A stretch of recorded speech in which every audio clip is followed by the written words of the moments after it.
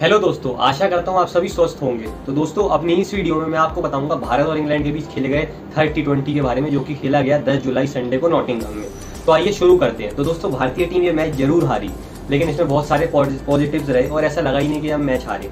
उसके बारे में मैं आपको बताऊँगा कि मैं ऐसा क्यों कह रहा हूँ और आप भी शायद समझ गए होंगे मैं किस इनिंग्स की बात कर रहा हूँ। लेकिन पहले शुरुआत करते हैं मैच की शुरुआत से। तो एक बार टॉस का बॉस फिर बने कप्तान जॉस दी बॉस बटलर।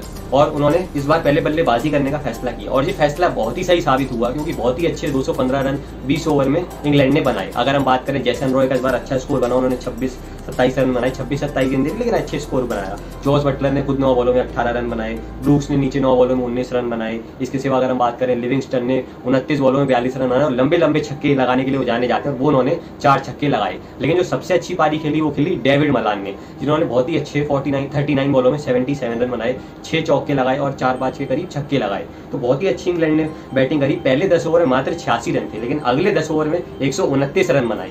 तो भारतीय टीम की अगर हम बॉलिंग की बात करें, सर जडेजा बहुत ही महँगे साबित हुए, पैंतालीस रन, चार ओवर इसके सिवा हम बात करें उमरान मलिक, चार ओवर छप्पन रन, आवेश खान, चार ओवर फोर्टी थ्री रन, इन दोनों को एक एक विकेट ज़रूर मिली, लेकिन वो ज़्यादा इफ़ेक्टिव नहीं लगे इसके सिवा अर्चल पटेल भी चार ओवर में पैंतीस रन दे गए। हाँ दो विकेट ज़रूर मिली, लेकिन जो चमके, वो चमके रवि रवि बिश्नोई, क्योंकि संडे था तो रवि चमके और चार ओवर में तीस रन दिए और दो विकेट लिए। मोइन अली शून्य पे आउट हो गए तो जो पहले दो मैच उन्होंने अच्छी बैटिंग करी थी सॉल्ट भी ज़्यादा कुछ नहीं कर पाए।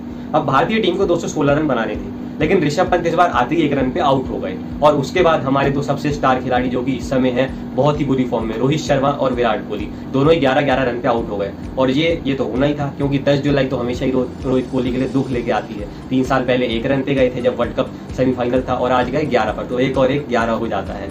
तो भारतीय टीम इस मैच से पहले ही बाहर हो गई थी, पाँच ओवर में तीस रन पे तीन विकेट हो गए थे। और उसके बाद क्या हुआ? उसके बाद सूर्य चमका। संडे को अगर रवि बिश्नोई चमके, क्योंकि संडे था तो संडे को अब इसके बाद चमके Surya Kumar Yadav sky sky is the limit जी हाँ बहुत ही अच्छे पचपन बॉलों में 117 रन बनाए, अगर हम बात करें, चौदह के करीब चौके लगाए, छक्के भी अच्छे अच्छे लगाए और बहुत ही अच्छी इनिंग खेली। और जो भारत पाँच ओवर में लगभग तीस रन था, उनको दस ओवर में अस्सी तक लेके गए, पंद्रह ओवर में डेढ़ रन लेके गए। और एक वक्त ऐसा लगने लगा, यार, पाँच ओवर में क्या छियासठ पर रन जाएँगे? लेकिन तभी श्रेयस अय्यर भी आउट हो गए, तेईस बॉलों में अट्ठाईस रन बना के। डीके की खराब फॉर्म जारी रही, सात बॉलों में छह रन बना पाए। जडेजा ने एक छक्का मारा, लेकिन चार पाँच बॉलों में सात रन बना के गए। हर्षल पटेल ने भी कुछ नहीं करा। तो अकेले खड़े रहे और बहुत ही अच्छी फाइटिंग नौ खेली। टी ट्वेंटी क्रिकेट की अगर हम बात करें चेस करते हुए बेस्ट फाइटिंग नौ की एक रनों की। सेकंड बेस्ट स्कोर बना रोहित शर्मा का 118 भारतीय टीम के लिए। तो बहुत ही अच्छी पारी खेली और इंग्लैंड के पूरे जो क्रिकेट टीम थी और जो पूरे समर्थक थे, उन्होंने भी उनको एक स्टैंडिंग ओवेशन दिया। तो कहना होगा वेल प्लेड स्काई तो ये एक अच्छा पॉजिटिव था क्योंकि मिडल ऑर्डर में स्काई और हमें मिल गए हैं और उम्मीद करते हैं कि वर्ल्ड कप में भी वो ऐसा ही प्रदर्शन करेंगे।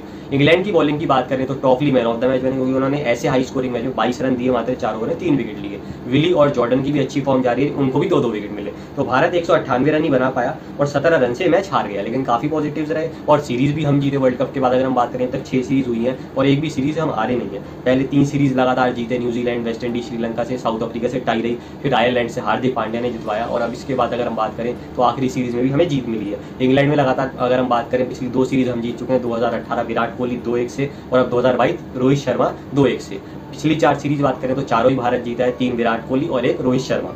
Man of the series बने भुवनेश्वर कुमार, बहुत ही अच्छी बॉलिंग करवाई अगर हम बात करें, चार विकेट इस मैच में तो हराम दे दिया, पता नहीं क्यों दिया। तो ऐसे वो अब दूसरे भारतीय खिलाड़ी बने विराट कोहली के बाद जिन्होंने तीन से ज़्यादा मैन ऑफ़ द सीरीज़ जीती, विराट कोहली सात और चहल दो, इसके सिवा रोहित शर्मा दो और भुवनेश्वर कुमार तीन और 500 डिलीवरी डालने वाले ऐसे पहले गेंदबाज बने हैं dot delivery power play overs अगर बात करें। अनफॉर्चुनेटली रिकी पॉन्टिंग का रिकॉर्ड एक बार फिर से टूटने से रह गया। हम बात करें तो 20 मैच उनका वर्ल्ड रिकॉर्ड था जीतने का 2003 में रोहित शर्मा के उन्नीस रहे तो एक छोटा सा दुख ज़रूर हुआ और वो हमेशा ही पता नहीं क्या होता है कि जब हम सोचते हैं कि धोनी एक ट्रॉफी जीत पॉन्टिंग का रिकॉर्ड तोड़ देते हैं तो धोनी नहीं जीत पाते हैं। विराट कोहली का सेवेंटी फ़र्स्ट शतक तीन साल से नहीं आ पाया क्योंकि सेवेंटी फ़र्स्ट ही रिकी पॉन्टिंग की बराबरी करने के लिए। तो पता नहीं क्या होता है कि रिकी पॉन्टिंग हम हमेशा ही थोड़े से पीछे रह जाते हैं, लेकिन हमारे रिकॉर्ड भी वर्ल्ड रिकॉर्ड होते हैं। तो वेल डन रोहित शर्मा आपको कि आपने लगातार उन्नीस मैच अपनी कप्तानी में जीते, जिसमें चौदह टी ट्वेंटी में थे वर्ल्ड रिकॉर्ड बना, तीन वनडे में थे और दो टेस्ट में, और ऐसे ही आप भारतीय क्रिकेट को आगे लेते जाएँगे। तो वेल डन टीम इंडिया अब बारी आएगी वनडे क्रिकेट की, जिसमें आपको देखने को मिलेंगे साथ में धवन, रोहित कोहली का ट्रियो तो बहुत मज़ा आएगा नीचे, उसके बाद श्रेयस अय्यर, ऋषभ पंत, हार्दिक पांड्या पावर, सर रविंद्र जडेजा, मोहम्मद शमी, शार्दुल ठाकुर चैल देखने को मिलेंगे। वहाँ से इंग्लैंड में रूट, स्टोक्स, रॉय बटलर, और इसके सिवा हम बात करें Bairstow, David Willey Sam Curran Moeen Ali बहुत मज़ा आएगा। तो बात करेंगे उसकी जल्दी, तब तक आप इंजॉय कीजिए और फिर वनडे सीरीज़ का मज़ा लीजिएगा। वीडियो पसंद आई तो लाइक और शेयर करना मत भूलिएगा चैनल को सब्सक्राइब करना भी मत भूलिएगा। जय हिंद।